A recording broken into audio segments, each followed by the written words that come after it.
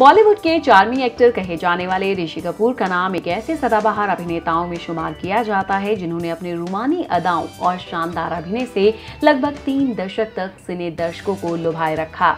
4 सितंबर उन्नीस सौ बावन को मुंबई में जन्मे ऋषि कपूर को अभिनय की कला विरासत में मिली। उनके पिता राज कपूर फ़िल्म इंडस्ट्री के जाने माने अभिनेता और निर्माता निर्देशक थे।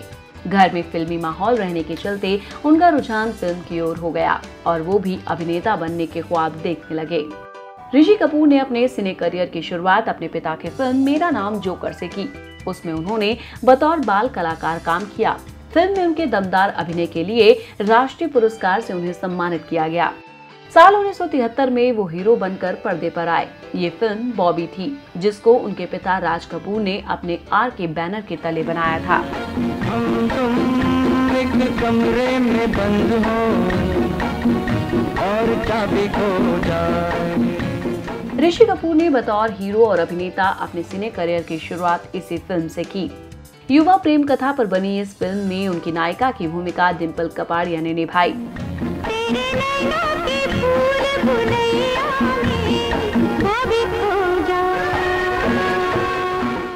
बतौर अभिनेत्री डिम्पल की भी ये पहली फ़िल्म थी। बेहतरीन गीत, संगीत और अभिनय से सजी इस फ़िल्म की ज़बरदस्त कामयाबी ने न सिर्फ़ डिम्पल बल्कि ऋषि कपूर को भी शोहरत की बुलंदियों पर पहुँचा दिया।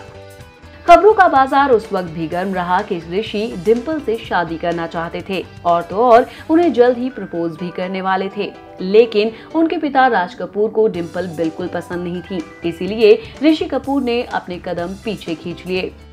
साल 1975 में प्रदर्शित फ़िल्म खेल खेल में की कामयाबी के बाद ऋषि कपूर बतौर अभिनेता अपनी खोई हुई पहचान बनाने में कामयाब हो गए।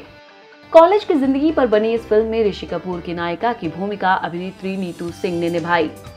फ़िल्म की कामयाबी के बाद ऋषि कपूर और नीतू सिंह की जोड़ी दर्शकों के बीच काफ़ी मशहूर हो गई। बाद में इस जोड़ी ने रफू चक्कर, जहरीला इंसान, ज़िंदा दिल कभी कभी अमर अकबर एंथनी, अनजाने में, दुनिया मेरी जेब में, झूठा कहीं का, दन दौलत। दूसरा आदमी जैसी फ़िल्मों में युवा प्रेम की भावनाओं को निराले अंदाज में पेश किया।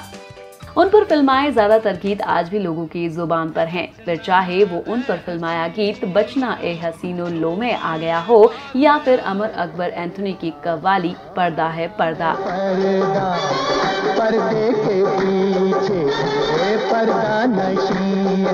बहरहाल, ऋषि कपूर आज भी उतने ही फ़ेमस हैं जितने पहले थे।